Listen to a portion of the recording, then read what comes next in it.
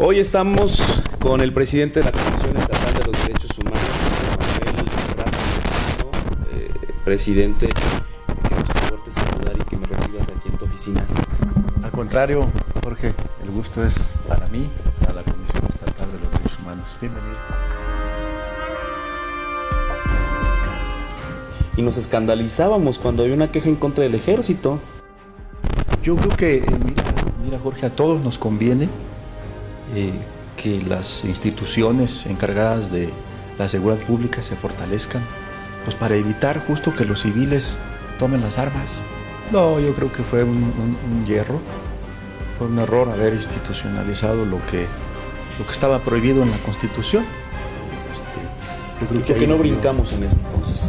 y yo creo que la, la situación, la crisis que vivía eh, eh, Michoacán, la debilidad de sus instituciones. Presidente, voy a regresar a otro tema de los derechos humanos.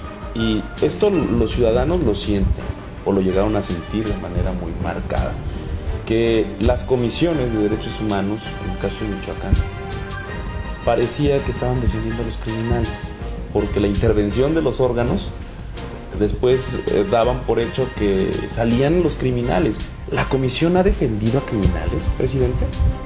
¿Te tiembla la mano, presidente, para poderle decir al gobierno, esto estás haciendo mal? Yo y los ciudadanos podemos confiar en Víctor Serrato. Y aquí en Morelia, por cierto, hablando de, de cómo están las cosas, en materia de seguridad pública, yo creo que es uno de los puntos eh, preocupantes, presidente.